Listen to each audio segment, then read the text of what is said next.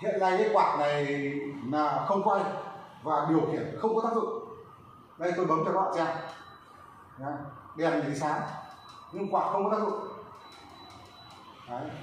vì lý do là cái chế độ công tác này, Đấy. hay nó hay gọi là chế độ ngắt tại chỗ này đang bị khóa thì vậy bạn phải giật, bạn phải giật nhé một này là tốc độ này hai này ba này. Ví dụ quạt ba tốc độ thì bạn phải giật ba cái để tốc độ đó là cao nhất. Đấy. Đấy, tốc độ là cao nhất. Khi khi tốc độ này là cao nhất thì cái khiển này của bạn bắt đầu bạn có thể tăng giảm theo cái khiển này được. Đấy. ok nhá tôi tắt này tắt quạt tắt đèn này tắt quạt này. Đấy, có tác dụng chưa? Về à, đèn không sáng đấy, thì các bạn cũng hiểu một cách đơn giản là như thế này. Đây là công tắc thứ nhất, bạn phải bật. Sau đó, công tắc này là công tắc thứ hai, bạn phải dập bạn phải dập nhé bạn dập thì công tắc này nó có hai chế độ. Đấy, bạn dập này, đấy. Thực ra bạn ba chế độ thì chính xác hơn, nhưng có hai loại bóng thì ví dụ ví dụ như bạn thích sáng cả thì bạn để nguyên như này, là xong. Sau đó bạn tắt bật điều khiển à, thực ra lỗi của quả cắt ấy, thì nó cũng có nhiều nguyên nhân. Nhưng mà nguyên nhân chính vẫn là do không bị nó không cân. Đấy, cái cánh này nó có độ lâm không cân. Bạn tưởng tượng là nó lâm lên như này thì nó làm cho quạt nó nghiêng nó nó nặng đúng không? Đấy nó nâng này nâng nhiều quá thì nó nặng. Chạy ra chạy vào nó cứ nặng nó đến cái con cánh này nó nặng. Thế thì bây giờ cái độ lâm của cánh này thì nó phụ thuộc vào hai yếu tố yếu tố thứ nhất là độ nghiêng của cánh Đấy.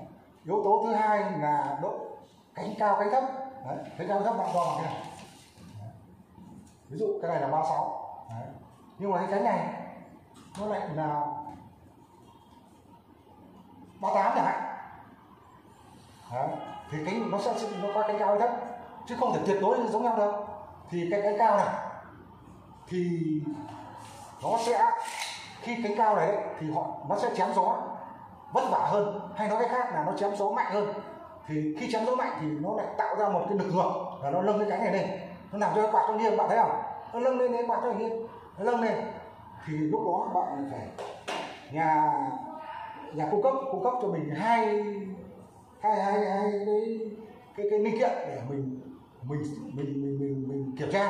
Đấy. ví dụ cái cánh này nó cao thì bạn kẹp hộ mình cái kẹp mình cái cái cái trọng lượng vào đây. Không bạn cho chạy nhé bạn cho chạy. Nếu như mà nó bạn cảm thấy mà nó tốt hơn trước thì có thể bạn điều chỉnh cái này là do mình nhá. Điều chỉnh làm sao để cho nó cái quạt này chạy không nắp là ok. Đấy. sau khi điều chỉnh đến cái phần này ví dụ như bạn để ở, ở đoạn này chẳng hạn đoạn này là nó không nắp là tốt thì nhà cung cấp có cung cấp cho mình một cái miếng dán cung cấp cho mình một miếng dán hai mặt thì bạn dán ở đúng cái vị trí này cho, cho mình Đấy.